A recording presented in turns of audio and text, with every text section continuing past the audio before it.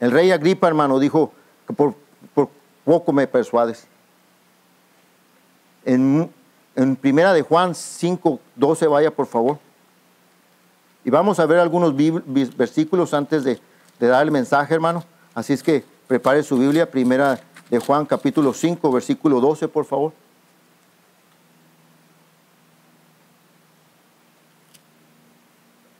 Dice el versículo 12, el que tiene al Hijo tiene que, hermano, la vida. Y el que no tiene al Hijo de Dios no tiene qué? La vida. Cuando estaba Jesucristo colgado en la cruz había dos hombres, hermano, y estaba uno a mano derecha y uno a mano izquierda. Y uno le dijo, si tú eres Dios, y ellos habían escuchado de Cristo porque estaban en la cárcel, eran malvados. No, no dice exactamente qué era, pero pudieron haber sido hombres tremendamente malos, capaces de hacer cualquier cosa. Y su destino era ser crucificados a muerte. Y uno le dijo al Señor Jesucristo, si tú eres Jesús, si tú eres Dios, bájanos, bájate tú y bájanos a nosotros. ¿Sabe qué quería ese hombre? Seguir deleitándose aquí en la tierra como muchos de nosotros y como mucha gente quiere deleitarse. Que hace planes aquí en la tierra y jamás piensa en la eternidad. El segundo hombre, hermano, le dijo, hey, tú y yo, le contestó al otro, tú y yo somos culpables por lo que hicimos, él no. Y con un corazón agrade- eh, eh, arrepentido le dijo, hey, al Señor Jes- eh, Jesucristo, si tú eres Dios, dice, acuérdate de mí cuando vengas. ¿Qué dice? En tu reino. Le dijo el Señor, de cierto, de cierto, que hoy estarás conmigo. ¿En dónde? Dos tipos de personas, hermano. En el mundo, hermano, hay dos tipos de personas. Siempre hay dos tipos de personas. Voy a quitar esto de aquí, hermano. Está calentando mi aparatito. Dos tipos de personas. El que es salvo y el que no es salvo. El que es salvo y el que no es salvo. Tú debes de estar cerciorado, hermano, hermanita, que estás 100% seguro que vas a ir al cielo si murieras el día de hoy.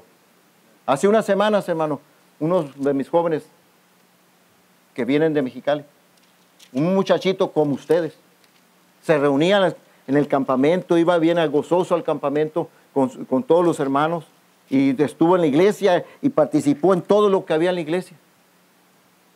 Pero llegó la carnalidad, llegó el mundo, las tentaciones y se empezó a apartar. Y hace dos semanas, hermano, iban de viaje, quién sabe dónde iba, iba con otros muchachos que no eran del grupo de, de la iglesia. Ahí ya se había apartado este muchacho, eh, Miguel ya se había apartado. E iban en el carro, hermano, y él iba atrás, chocaron y los dos muchachos que iban enfrente inmediatamente murieron y él quedó inconsciente. Dos semanas estuvo en el hospital. Nuestros muchachos en la iglesia, pastor, ore por, ore por él. No queremos que muera Miguel. Me hablan y me dicen, pastor, eh, ore por el muchacho Miguel, su cerebro se le hinchó. Y los doctores ya no saben nada que hacer. Y era un cristiano como tú, hermano. Un jovencito como tú, jovencita, de 18, 19, 20 cuando mucho. Y pensó como ustedes que están aquí y como nosotros que estamos aquí como pastores. A mí no me va a suceder. A mí no me va a pasar eso. Yo estoy en este grupo y soy cristiano y soy hijo de Dios y no me va a suceder eso. Dice la Biblia, de modo que si alguno está en Cristo, ¿qué? ¿Nueva qué? Ya no está pensando en las cosas del mundo. Decía hace rato el hermano Byron, yo no entiendo la juventud, ¿por qué están pensando en las cosas de, aquí? Y decía, y sacaría unas características de algunos de ustedes que los conocen. Yo conozco los de mi iglesia, pero yo no los conozco a ustedes. Pero si él lo dijo es porque les conoce. Y le está hablando a usted directamente. Y debería darle gracias al hermano y decir, gracias hermano porque me está abriendo los ojos. Para que no le pase como ese muchachito Miguel, hermano. La semana pasada, el viernes, me hablaron mis hermanitos en, Cristo. Me dice, pastor, Miguel murió. Miguel murió. Y vas a, puedes decir, a mí no me va a pasar eso, pastor. El que crea que está firme, ¿qué dice la Biblia? Mire que no caiga. Hay dos tipos de personas. Y queda la pregunta, ¿sería salvo? ¿Qué andaba haciendo allí? ¿De qué tipo era? ¿Era salvo o no era salvo? O es que fue engañado por el diablo, hermano. No podemos echarle al diablo la culpa de todo. No le puede echar la culpa al diablo de que, no, es que el diablo me sacó y me tentó. No, hermano. La decisión es individual. Yo decido si camino con Dios o bailo con la muerte o bailo con el mundo o me quedo con Cristo. ¿Está conmigo? Usted decide, jovencito, usted decide. Mire, el año pasado, yo no me acuerdo de todas las caras, hace ratito me saludó una niña que me, consultó la semana, el año pasado. Le doy gracias que está aquí ella. Gloria a Dios. Pero póngase a ver alrededor, ¿cuántos no vinieron del año pasado? Casi que salvo. Si es casi salvo, está perdido completamente para Dios. Está perdido. Oh, es que ha dejado eh, al Señor por un tiempo, se está dando un break. Entre los cristianos no hay breaks, hermano. No hay breaks. Es más, ni entre los profesionales. Si usted si estuvieran en el fútbol, en el béisbol, en el básquetbol, en cualquiera, un jugador se agarra un break, ¿qué cree que le va a pasar? ¿Qué le va a pasar? Si, se agarra un break, ¿qué va a pasar? ¿Qué le va a pasar, hermano usted? Si se agarra un break mientras están los juegos, lo van a correr. El que cuitió fue él. Y entre cristianos no debe de hacer así. Usted y yo no podemos agarrar un break mientras la lucha todavía sigue, hermanos. La lucha todavía está, hay mucho que hacer. Este campamento es para que usted venga y agarre fuerzas y salga de aquí, llegue a su iglesia y sirva al pastor. Vamos, pastor, a traer más jóvenes para que el próximo año sea mejor. Vamos, pastor, si se puede. ¿O no se puede? ¿Tú no tienes a un Dios que te salvó? ¿No te sacó del infierno? Dice la, vida que, dice la Biblia que estabas muertos en tus delitos y pecados, igual que yo. Y Dios me limpió con su sangre preciosa a usted y a mí. Y Él dice que nos llenó con el poderoso Espíritu de Santo. Y hoy es el tiempo del Espíritu Santo. En este tiempo, y usted y yo debemos de aprovechar y con ese poder ir a hablarle a las demás personas. No en mi confianza, sino en la confianza del Espíritu Santo que me use a mí, de lo que me enseñan los predicadores, de lo que yo aprendo de la palabra del Señor, de lo que yo practico en la iglesia. ¿Está conmigo, hermano? Si todos hiciéramos el trabajo que el Espíritu Santo quiere hacer, hermano, y lo obedeciéramos, este lugar estaría mucho más lleno. ¿Está conmigo, hermano? Yo creo que estuvo tan caliente que se quedaron muy callados. Siga conmigo ahí en Primera de Juan, hermano.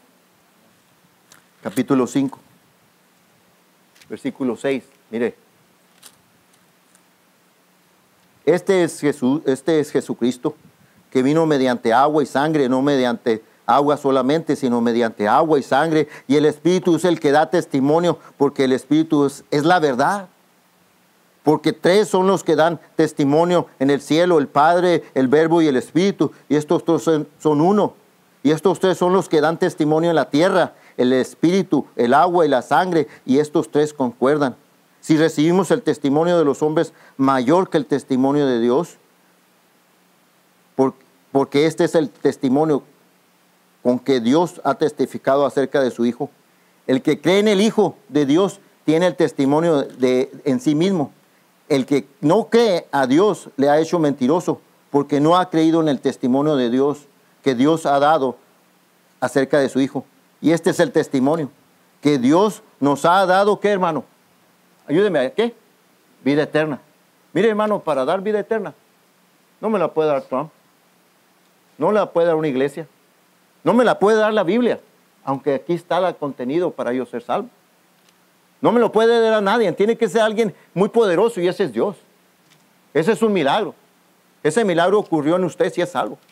Pero si no, no ha ocurrido en usted, esta conferencia se le hace aburrido y quisiera estar jugando y divirtiéndose en lugar de estar oyendo más palabra de Dios y diría, yo quiero más palabras para que yo me eh, edifique más y yo pueda ser ejemplo de otros y traer a otros jóvenes y poder hacer más por la obra de Dios. Y ese es el propósito de esto, hermano.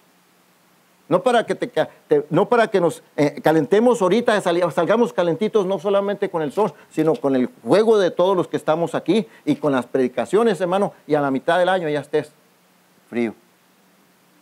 ¿Qué es lo que ocurre? Es para que te vayas con toda la enseñanza y dices, yo quiero más, pastor, ya me dio en el campamento, deme más y deme más, póngame a trabajar, vamos a ganar almas, pastor. Y no te estoy diciendo que no lo estés haciendo, hermano, pero dice la Biblia, siervo inútil, lo que deberías de hacer, has hecho. Debemos de hacer más. Amén. Podemos hacer más, ¿sí o no? Debemos de hacer más. Para cuando lleguemos al cielo, hermano, diga al Señor, siervo fiel en lo poco fuiste fiel, en lo mucho que te pondré. Porque va a haber premios. Va a haber premios, hermano. En el cielo va a haber premios. Va a haber coronas. Y ese es el propósito de la vida de usted y mía. El Señor no nos salvó para ser salvos nomás y estar aquí divirtiéndonos, hermano. El Señor nos salvó para ser testigos de Él en la tierra. Amén. Que nosotros seamos la diferencia, hermano. Las iglesias ah, carismáticas nos están ganando, se están llevando a la juventud con bailes, con fiestas y diversión. Y jóvenes de aquí yo creo que se han ido. ¿Se le han ido algunos de estos para allá? A los carismáticos, buscando donde hay libertad y perversión y liberalismo, hermano. Y cuando oyes las reglas aquí se te dice algo, ¿te ofendes? No te ofendas, hermano. Porque si te ofendes, mira lo que pasa. Vaya conmigo, hebreo, conmigo hebreos, por favor. Capítulo 12. Deberías de estar agradecido cuando a veces te, a ti y a mí, hermano, nos raspa cuando nos dicen las verdades. Cuando nos duele, ay, pastor, qué duro me tiró. Gloria a Dios. Gloria a Dios. No que te ofendan. No que te digan burro. Eso yo no estoy de acuerdo. Pero si te quedas burro es pecado. Mire lo que dice. Por tanto, nosotros también, teniendo un enrededor nuestro tan gran nube de testigos. Despojémonos de todo peso y del pecado que nos asedia y corramos con paciencia la carrera que tenemos por delante. Puesto los ojos en el autor y consumador de la fe, el cual, por el gozo puesto delante de él, sufrió la cruz menospreciando lo propio y se sentó a la diestra del trono de Dios.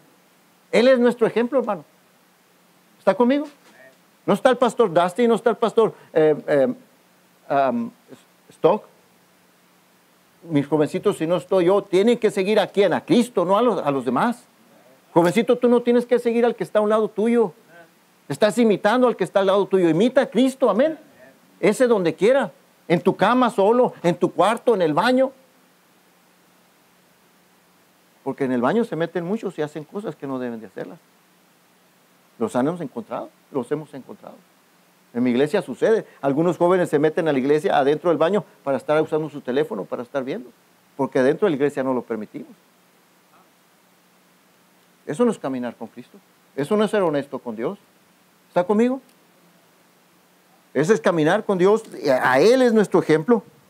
Versículo 3 dice, considerar a aquel que, eh, que sufrió tal contradicción de pecados contra el mismo, contra sí mismo, para que vuestro ánimo no se canse hasta desmayar porque aún no habéis resistido hasta la sangre combatiendo contra el pecado. Y es una lucha contra el pecado. El pastor aquí le ha estado predicando contra el pecado, contra el pecado. Resista, aguante, siga adelante. Y sí es cierto, hermano. Pero si no tiene a Cristo, si no es salvo, no tiene al Espíritu Santo, el pecado lo va a agarrar al ratito, hermano, y lo va a arrastrar. Porque no es salvo. Piensa que es casi salvo. Piensa que es muchos, algunos pueden decir aquí, casi soy salvo. Y está imitando a su compañero, a su compañera eh, aquí en la iglesia, aquí en este grupo, allá en su, en su iglesia. Y al único que tiene que imitar es a Dios. Versículo 5. Y habéis ya olvidado la exhortación que como, ayúdeme, ¿cómo dice? ¿Como qué? Versículo 5. ¿Como a quién? Como a hijos, dice se os dirige diciendo, Hijo mío, no menosprecie la disciplina del Señor, ni desmayes cuando eres reprendido por Él, porque el Señor al que ama, ¿qué? ¿Cómo hermano? Disciplina. Y dice, azotes y azota a todo aquel que recibe como, ¿como qué? ¿Como qué hermano? Como hijo. Versículo 6. Si soportáis la disciplina, Dios, eh, si soportáis la disciplina, Dios os trata como hijos, porque ¿qué hijo es aquel a quien el Padre no disciplina? Pero si os deja sin disciplina, de la cual todos han sido participantes, entonces sois qué? Ayúdeme, hermano, ayúdeme. Bastardos. ¿Sabe qué quiere decir bastardo? No es hijo de Dios. No es salvo. Me, se me enchina la piel, hermano. Hermanitos, se me enchina la piel que veo jóvenes en mi iglesia, veo hermanos en mi iglesia, hermanas en mi iglesia, y veo en otras iglesias, hermano, que se dejan al Señor. Venían a la iglesia, dejan a la iglesia y dejan al Señor y andan viviendo como quiera. Andaban bien vestidas en la iglesia y me las encuentro en la calle bien desvestida. El hermano bien vestido, bien comportado y lo encuentro como un cholo o como un pervertido con una cerveza en la mano. Y digo, Señor, ¿por qué no los disciplinas? ¿Por qué no los traes a tus caminos otra vez? Y vengo y encuentro esta, esta lectura y dice, bastardo. Y le preguntas, ¿eres salvo? Sí, sí, soy salvo. Yo ya acepté a Cristo. Es muy fácil, hermano, tomar, sí, acepta a Cristo como tu único y suficiente Salvador. Es muy fácil decir, yo acepto a Cristo como mi único y suficiente Salvador. Amén. Pero dice la Biblia que si lo confesares como tu Señor, como tu Señor. Mano Byron habló, dijo, hey, en mi trabajo han llegado jovencitos que los corren mejor porque no sirven. ¿Por qué? Porque no quieren tomar al patrón como su Señor y obedecerle, sí, lo que usted diga, patrón, dele para allá, dale para acá y dele duro. ¿Y qué hacen? Ah, es que es muy malo el patrón y se van. Y no solamente jovencitos, también viejos como yo. Porque no quieren tomar a su Señor. En pocas palabras, yo voy porque me conviene. Cuando ya no me convenga, me voy a retirar. ¿Sabe que así hay muchos cristianos? ¿Sabe que así hay muchos cristianos? Voy porque me conviene. Hay jóvenes a lo mejor que aquí vienen nomás a este campamento y a la iglesia, nomás de vez en cuando. Puede ser que aquí hay. ¿Y sabe por qué, hermano? Porque no ha tomado al Señor como su Señor. Y eso quiere decir que casi es, casi es algo casi es salvo. Y esa persona si es casi salvo, dice la Biblia que es totalmente perdido. La pregunta es, ¿cómo estoy yo? ¿Cómo estoy yo? ¿Yo soy un casi salvo o soy un salvo? ¿O soy un salvo o soy un casi? ¿Un casi qué? Salvo. Dios nos rescató para hacer mucho. Dios quiere que tú hagas mucho para el Señor. Y quiere que tú seas un hombre que le sirve, una mujer que le sirve. Y que cuando te regañan o te llaman la atención y te dan azotes, quiere decir, cuando te sales de la línea, hermano, y entonces el Señor te piensa dar una nalgada, gloria a Dios, porque soy, soy que soy salvo. Mi suegra antes de morir, en una ocasión, hermano, me dijo, no, voy a la iglesia, voy a ir con mis hijas a, pasar la tarde. Llegó a la fiesta, nosotros nos quedamos, mi esposa y yo y mis hijos. Nos habla en la tarde, en la noche, ¿sabes qué? Me caí. Gloria a Dios, dice que Dios me, me habló. Gloria a Dios que me habló. Y dijo, ya no vuelvo a faltar en la tarde a la iglesia. Pero ¿cuántas veces el Señor le habla a uno? ¿Y qué hace? Y luego empieza a decir, ¿y por qué a mí? ¿Por qué a mí si yo me he portado, yo voy a la iglesia, yo leo la Biblia, hey, yo fui al campamento? ¿No será que a lo mejor es casi que salvo?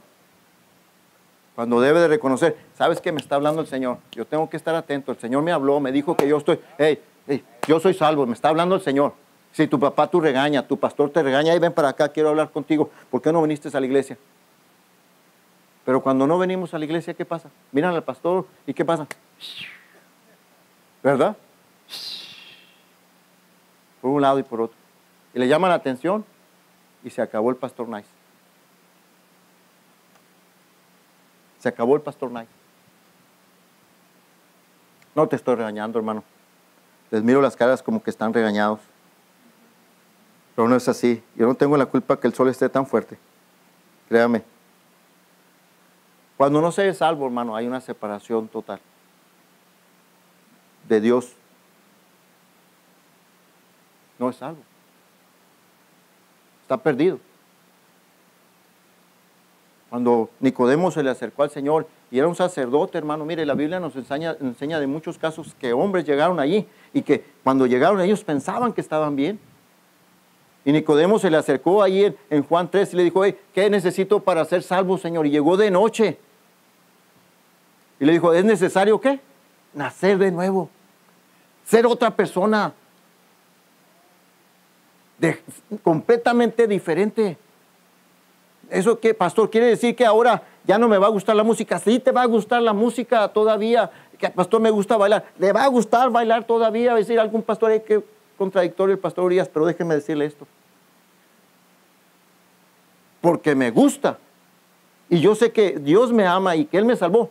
No la quiero. ¿Estoy conmigo? ¿Está conmigo, hermano?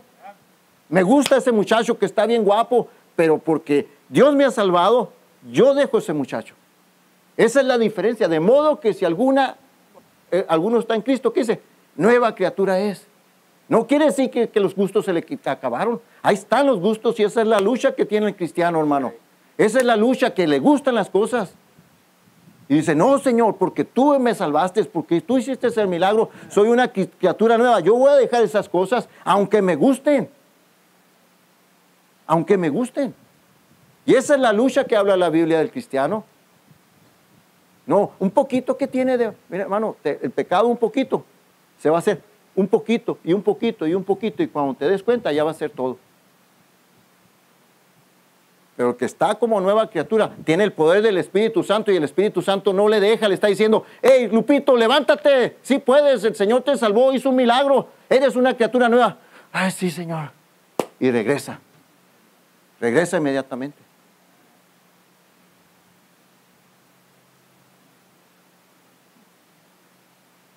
Vaya conmigo a Mateo capítulo 5, 25, por favor. Está separado de Dios aquel que no es salvo, hermano. Aunque esté, pueda estar un joven aquí que no es salvo, hermano, puede, va a estar separado de Dios. Capítulo 25, versículo 33. Versículo 31 voy a leer yo. Mateo 25, 31 dice, cuando el Hijo del Hombre venga en su gloria y todos los santos ángeles con él, entonces se sentarán unos en su trono de gloria y serán reunidos, reunidas delante de él todas las naciones y apartará los unos de los otros como aparta el pastor las ovejas de los cabritos y pondrán las ovejas a su derecha y los cabritos a su izquierda. Así lo va a hacer el Señor, hermano. El Señor va a apartar al salvo y al no salvo. Y le va a decir, pero yo estuve en la iglesia. Dice la Biblia ahí en, Mateo, dice, yo, yo, yo profeticé, yo llevé tu palabra, yo gané almas, Señor. Y le va a decir el Señor, apartados de mí, hacedores de la maldad. Nunca me encontré contigo. Nunca tuve un encuentro personal tú conmigo. Estuviste en todas mis reuniones, pero jamás me diste tu corazón. Me diste tu cuerpo, me diste tu mente en ese momento, pero tu corazón nunca me lo entregaste. Y me temo que hay muchas iglesias como las nuestras que están así. No digo que todos, pero sí, muchos. Porque dice la Biblia, por sus frutos los que conoceréis. No te estoy culpando, hermano.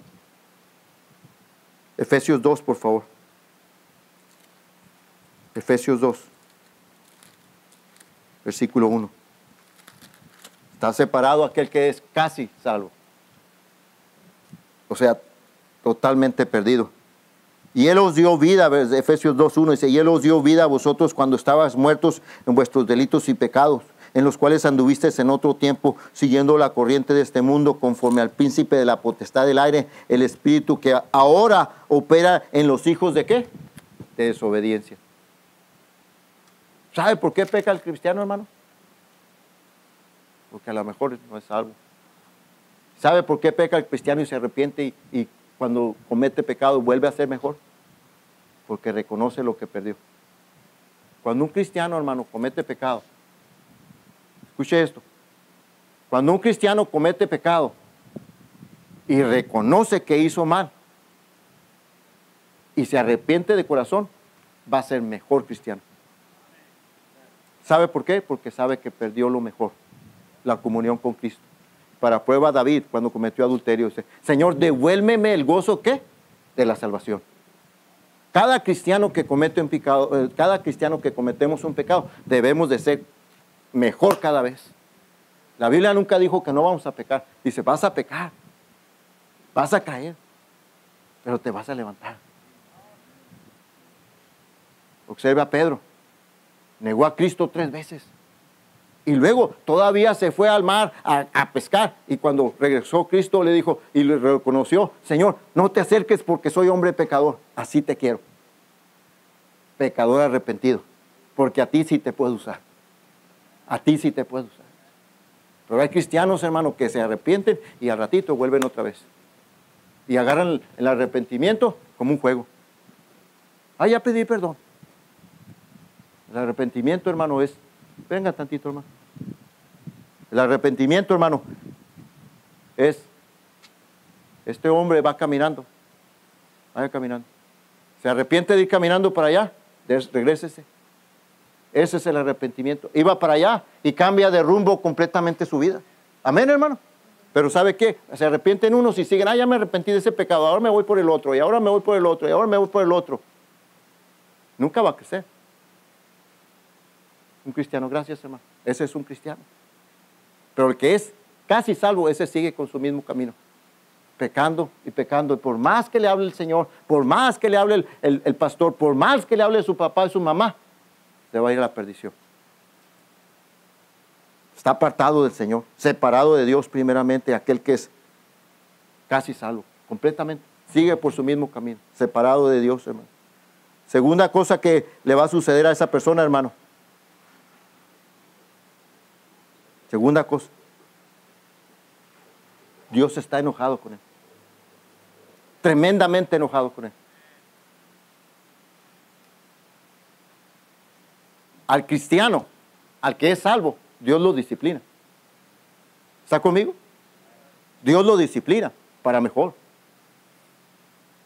No para matarlo, no para acabarlo, no para destruirlo, pero que el que es casi salvo Dice la Biblia, hermano, si usted va ahí a, Juan capítulo 3, versículo 36.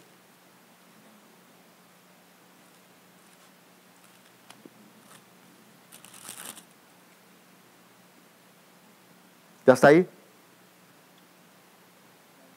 Dice, el que cree en el Hijo tiene la vida eterna, pero el que rehúsa creer está hablando de fe, de salvación, de sumisión, está hablando de entrega, está hablando de, darle toda su vida y creer que Él es todo lo que puede ser en su vida. Está hablando de eso. El que, pero el que rehúsa creer en el Hijo no verá la vida, sino que la que ira de Dios. Aquel que es casi salvo, hermano, la vida de Dios está sobre él. Dios está esperando, te voy a dar más oportunidad. Dios ya sabe quién va a ser salvo, ya, Dios ya sabe, pero Él va a dar la oportunidad porque un día dice la Biblia que está estipulado que el hombre muera una vez y después de ahí el juicio. Y va a llegar todavía el casi salvo allí y va a estar con el Señor. Oh, Señor, yo fui a la iglesia, yo conocí al pastor Dustin, Dustin y me llevó al campamento y, ahí confesé a Cristo como Salvador. Y, pues mire, ahí tenía compañeros de la iglesia. ¿Cómo se llama su iglesia, hermano? Berea. Y era la mejor. Le ganamos a la de Pomona cada vez.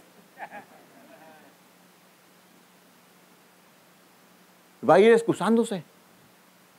Y le va a decir, Señor, te di oportunidad y nunca me escuchaste. Ahora mi ira está sobre ti. ¿Y a dónde va a ir, hermano? Al infierno. Muchos no temen al infierno porque no les hablan mucho del infierno, no les predican acerca mucho del infierno, ni quieren oír del infierno. Ay, hábleme cosas bonitas de puro amor. Ándele, pastor, ándele, pastor, si puede levantar las manos tantito. ¿Verdad? No, hermano, no es así. Levantar las manos limpias, dice la Biblia, y se confunde con eso. Levanta tus manos, hermano. Está hablando de santidad. Cuando levantes tus manos limpias es porque el Señor, Señor, he limpiado mi corazón para amarte, glorificarte. Está hablando el Señor de eso. No de un gozo carnal. Estará la ira sobre él, hermano. Vaya a Romanos capítulo 5, por favor. Primero está separado de Dios. Luego la ira de Dios está sobre él. Romanos 5, 10, por favor.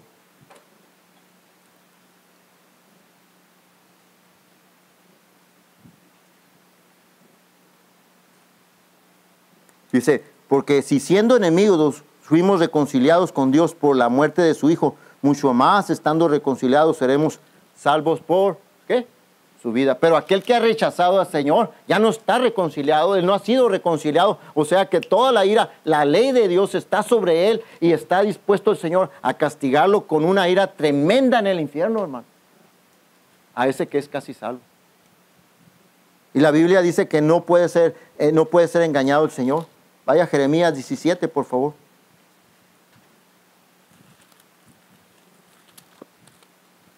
Versículo 9. El casi salvo tiene otra cualidad. Se engaña solo.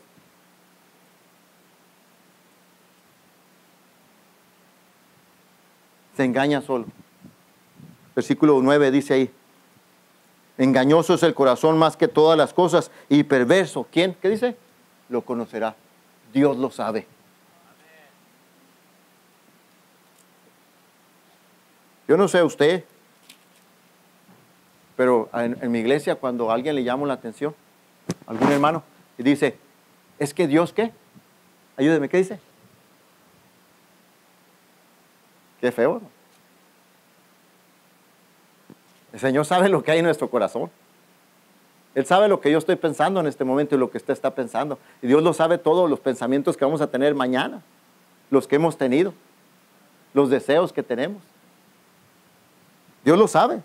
Y es muy triste decirle, oh, Dios sabe mi corazón, Él conoce mi corazón, hermano.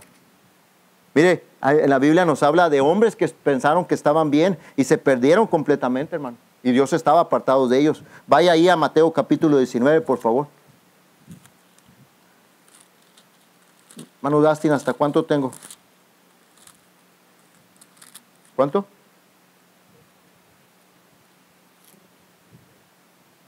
Diez minutos más. Mire lo que dice aquí.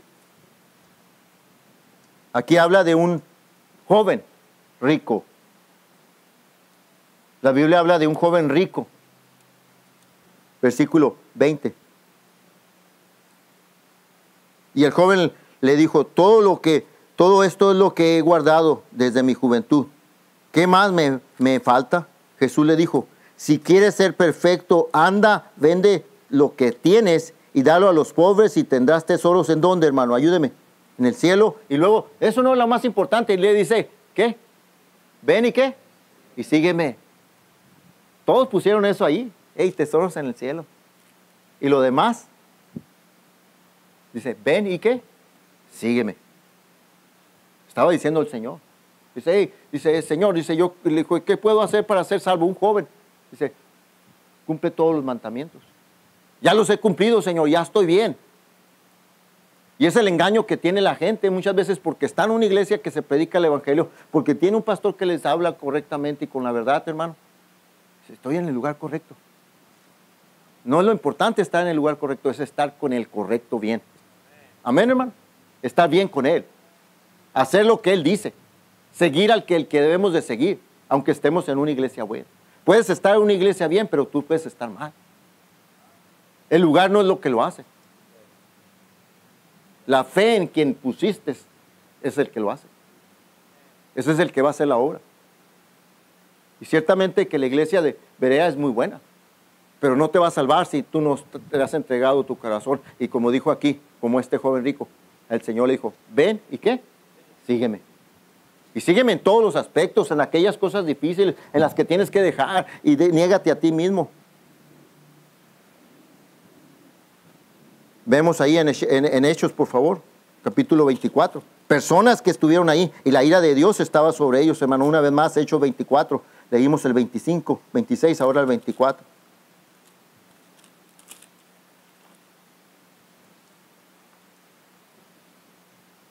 4.25 y voy a ir rápido. Dice, algunos, algunos días después, viniendo Félix con Drusila, su esposa, que era judía, llamó a Pablo y le oyó acerca de la fe en Cristo. Pero él, él, al disertar Pablo acerca de la justicia, del dominio propio y del juicio venidero, Félix se espantó y dijo, ahora vete, pero cuando tenga oportunidad, ¿qué dice? Te llamaré. Cuando el Señor les dice, ven y sígueme, ven y cambia tu vida, ven y comienza a caminar como yo quiero, como Cristo. No, pastor, no tengo tiempo, tengo que estudiar, tengo que trabajar, tengo que hacer mi, mi futuro. Algunos jóvenes no vinieron aquí porque están estudiando en lugar de haber venido a oír la palabra del Señor. Jóvenes que debieron haber estado, que lo necesitan.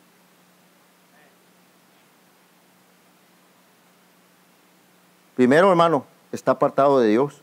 Segundo, está la ira de Dios sobre él. Un joven, hermano, que se llama, ese joven que, bueno, era joven en aquel entonces, él escribió varios signos y uno de ellos es el que cantamos, estoy bien o alcancé salvación. Bellas palabras de vida.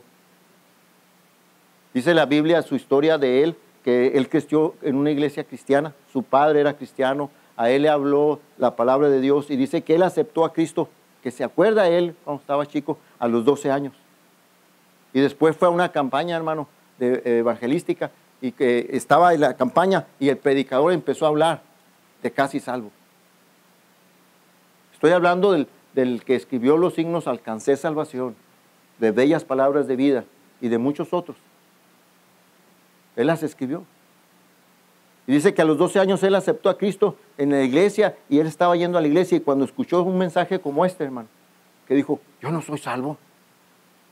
Yo he estado en la iglesia todos estos años y, yo no soy salvo, me voy a ir al infierno.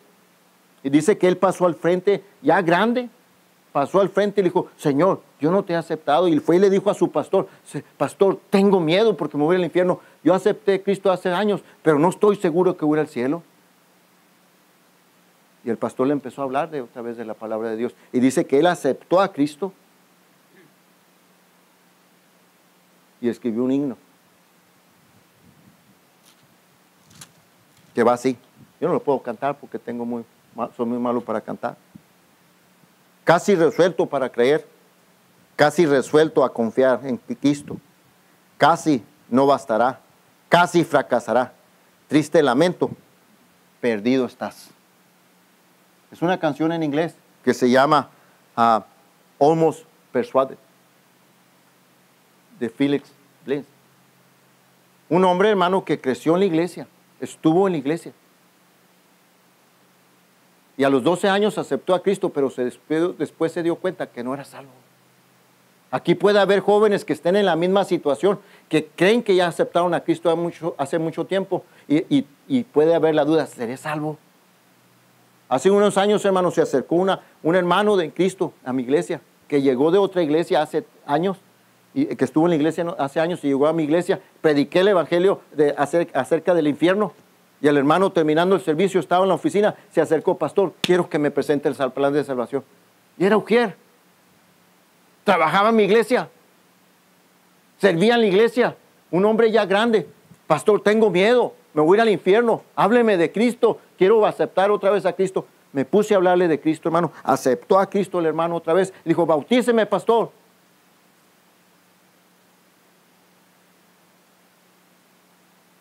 Hace años, otro pastor me contó que fue a predicar a una iglesia. Y estaba predicando. Y el pastor de esa iglesia era mayor que el pastor que había ido a predicar.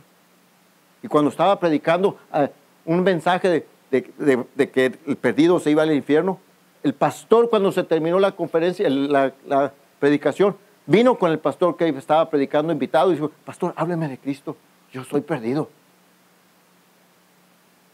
El conocimiento no te va a salvar. Pero el creer en Cristo, entregarle tu corazón y decirle, tú eres mi Señor. Y lo que tú digas, yo voy a hacer. Si tú me dices, si me dices, Señor, niégate a ese deseo que tienes, a eso que está en tu carne. Sí, Señor. Sí, Señor, lo que tú digas. El conocimiento nos salva.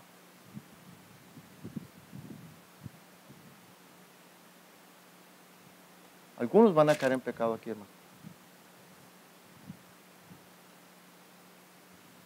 Pero dice la Biblia que si clamamos a Cristo, ahí en primera de Juan, que Él es justo y fiel para perdonar nuestros pecados y limpiarnos de todo mal. El casi salvo no tiene eso. El casi salvo no puede recibir eso. Aunque le pida perdón porque no ha sido salvo, no puede alcanzar perdón. Porque no ha tomado al Hijo de Dios como su Salvador. Que no es salvo, hermano, está muerto. Uno que no es salvo, hermano, la ira de Dios está sobre él. Uno que no es salvo, hermano, su corazón no ha sido regenerado. Su mente no ha sido degenerada, se sigue engañando. Venimos aquí a encontrarnos con Cristo. A eso veniste. A que se te dijera la verdad. Y dice la Biblia en Juan 14, 14, 15, 14 6 dice, yo soy el camino y la verdad. ¿Y qué dice, hermano? Y la vida. Pastor, ya me lo sé eso. Pero los vives. Los vives, hermano. Los vivimos, hermano. Estoy seguro que si muero hoy, yo voy a la presencia de Dios. ¿Estás seguro? Es un milagro ser salvo. El que está simplemente creyendo que es salvo y no salvo, está completamente perdido.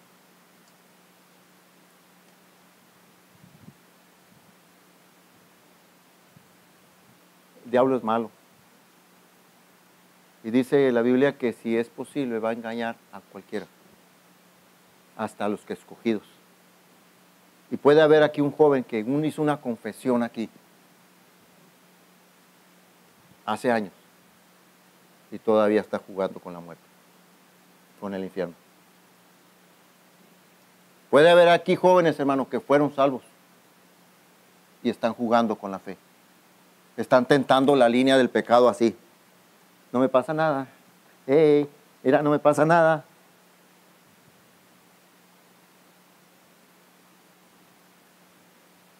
¿De cuál es esto? ¿Del casi salvo o del salvo? Al joven rico le dijo, ven y sígueme. Si eres tú salvo, ahorita que el hermano llame, deberías venir y decirle al Señor, aquí estoy, Señor. ¿Qué voy a aprender ahora en esto? ¿Qué voy a hacer ahora que vaya a mi, a mi iglesia y me diga mi pastor, vamos a hacer esta campaña, vamos a ganar más almas, voy a prepararme, voy a ser maestro, voy a ser... Ven y sígueme al que es salvo. Y el que es casi salvo está completamente perdido. Tú tienes la oportunidad de pasar aquí, aunque hayas hecho confesión antes. Es preferible estar aquí enfrente pasando una vergüenza y no la eternidad en el infierno, de tormento. Es preferible. Incline su rostro, hermano.